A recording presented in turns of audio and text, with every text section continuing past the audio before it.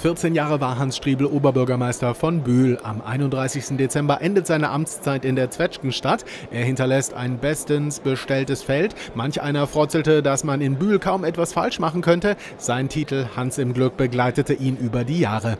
Er hat alles richtig gemacht. Badische Amtskollegen kamen zur Verabschiedung. Sie wissen, was Bühl und die Region durch Striebels Rücktritt verlieren. In allererster Linie einen großartigen Menschen.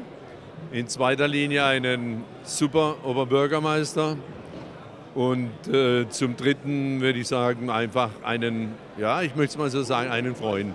Ein Mann, der zuverlässig war, dem, auf dem er sich äh, einfach blind vertrauen konnte, der Freundschaft gepflegt hat, der auf Menschen zugegangen ist und der auch die Region maßgeblich nach vorne gebracht hat.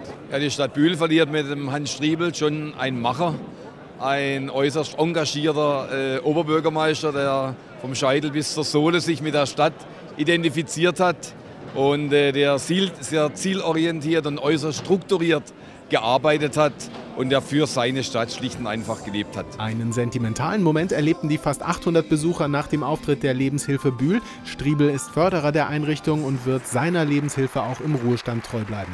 Er ist ganz, ganz tief verwurzelt, hat niemals abgehoben, aber er hat sehr weit gedacht.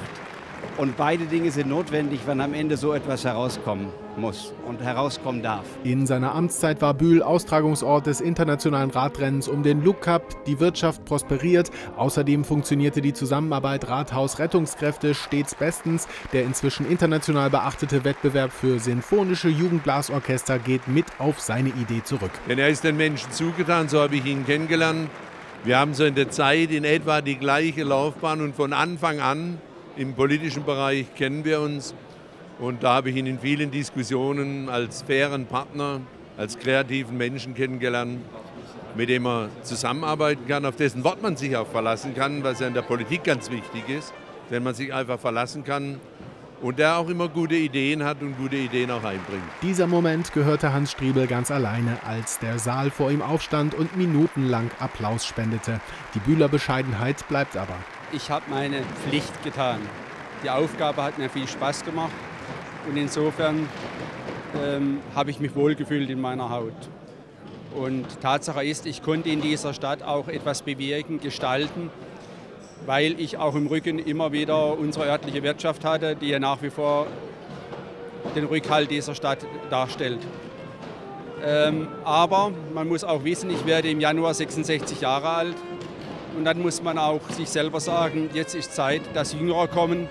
Die Stadt steht vor Veränderungen und dann ist wichtig, wenn das mit neuem Elan, neuem Schwung gemacht wird.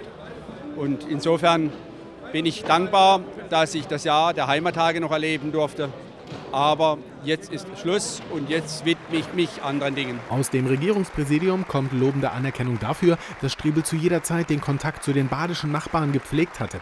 Darüber hinaus habe das Rathaus die Städtepartnerschaften mit Leben erfüllt. 2002 kam Villafranca del Penedes in Spanien hinzu. Auch Rudolf Kühner weiß, was Bühl jetzt verliert. Einen Bürgermeister, der sich in unglaublicher Weise für das Wohl der Stadt und seiner Bürgerinnen und Bürger eingesetzt hat, ein kommunales Urgestein. Und ähm, ich denke, er hat allerhöchsten Respekt verdient und jeder Nachfolger wird an ihm gemessen werden. Anfang Oktober wurde Hubert Schnurr zum neuen Oberbürgermeister von Bühl gewählt. Ein bisschen Ehrfurcht vor dem neuen Amt ist normal. Allerdings habe ich den Vorteil, ich durfte Herrn Striebel ja 14 Jahre direkt begleiten. Wir saßen ja Zimmer an Zimmer und ich habe das Glück, ich darf nur über das Vorzimmer in ein anderes Büro wechseln. Und von daher bin ich sehr zuversichtlich, dass wir das auch zum Wohle unserer Stadt wieder auf die Reihe bekommen. Der Staffelstab wird weitergegeben und die Vorzeichen stehen gut, dass Bühl beliebter Partner im Reigen der badischen Landkreise und Kreisstädte bleiben wird, auch nach dem Ausscheiden von Hans Striebel als Oberbürgermeister. Denn die Grundlagen, die er geschaffen hat, bestehen ja nicht nur aus einem Stein, sondern das sind Gedanken, Ideen und Vorstellungen, wie die Region zusammenwachsen kann. Und das ist eigentlich auch die Basis dessen, wie wir eigentlich unsere Zukunft sehen. Als Lehrer, Bürgermeister und Oberbürgermeister verabschiedet sich Hans Striebel jetzt nach insgesamt 21 Jahren aus dem Dienst der Stadt Bühl. Wir gratulieren zum Erfolg und wünschen für die Zukunft alles Gute.